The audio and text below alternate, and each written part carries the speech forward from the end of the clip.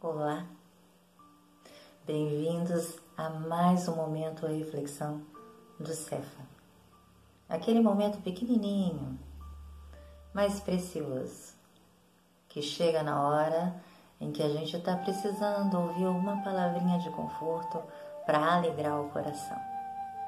E nós vamos continuar a fazer a leitura daquele livro pequenininho também que eu apresentei para vocês da vez passada. Gotas de Esperança, do Lorival Lopes. Lembra dele? Então, hoje nós vamos fazer a lição 1, porque eu comecei com a lição 103, lembram? Pois é, então hoje nós vamos fazer a lição 1.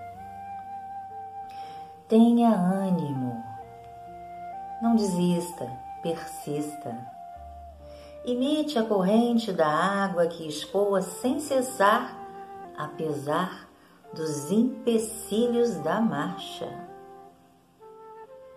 Sorria apesar de tudo. Sorrindo, não há mágoa que possa subsistir no seu coração. Esforce-se. Recorde que a vida, para ser verdadeira, precisa ter sido difícil ame o mais que possa. Com amor, será mais fácil vencer as dificuldades. Lutar sempre, continuar sempre é saber desfrutar o verdadeiro valor da vida. Queridos, a nossa vida é assim, cheia de altos e baixos, como a correnteza de um rio às vezes a gente encontra pedras, pedaços de galhos, às vezes obstáculos pequenininhos, outras vezes obstáculos imensos, como um precipício, onde devemos cair para depois novamente nos levantar. A nossa vida é isso. São momentos de dor, de sofrimento, mas atrás desses momentos de dor e sofrimento, nós também temos muitos aprendizados. E no aprendizado, nós nos fortalecemos. Somos convidados a fazer uma reflexão daquilo que nós agregamos, trouxemos para dentro de nós e que nesses momentos nós percebemos que não fazem falta mas que outras coisas que deveríamos ter, essas realmente fazem a diferença. Às vezes a dor é muito, muito difícil de suportar e o coração pesa e fica cabrunhado e nós nos colocamos num processo de introspecção, como uma conchinha. Ficamos ali recolhidinhos dentro da nossa concha esse momento não é um momento ruim. Ruim é a gente permanecer nessa circunstância.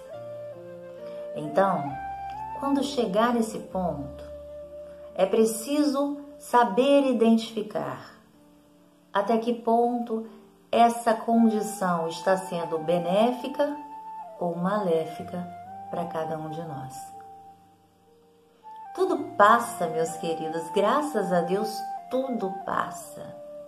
E o que vem, não vem só para nos fazer mal, só para nos derrubar, para nos prejudicar. Vem para nos ensinar, para nos fortalecer. E é preciso então compreender a lição que vem ali, atrás de cada obstáculo que surge no meio da nossa correnteza. Lembremos do rio, que não para nunca. Segue seu curso como deve seguir e vence todos os obstáculos que estão no seu caminho. Nós somos esse rio. A nossa diferença em relação ao rio, que já está acostumado com esse percurso e com esses obstáculos, é que nós ainda não aprendemos a lidar com eles. E tampouco estamos aproveitando as oportunidades que esses obstáculos estão nos trazendo.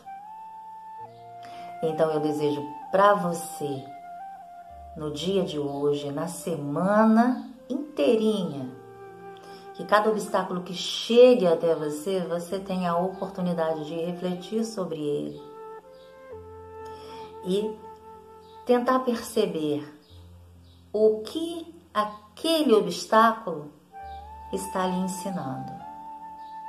O que, que você precisa modificar?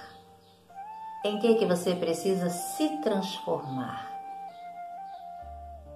Fica a dica para você. E nós vamos encerrar agradecendo. Agradecendo ao Pai. Pelo dia de hoje, pelas oportunidades que esse dia há de nos trazer, pelas belas lições que iremos aprender. E que seremos convidados a nos reformular Obrigada, Mestre Jesus, por essa oportunidade. Obrigada, Deus Pai, pela vida e pelos ensinamentos que essa vida certamente há de nos oportunizar. Fiquem todos com Deus. Um grande beijo no coração e muita paz. Até a próxima.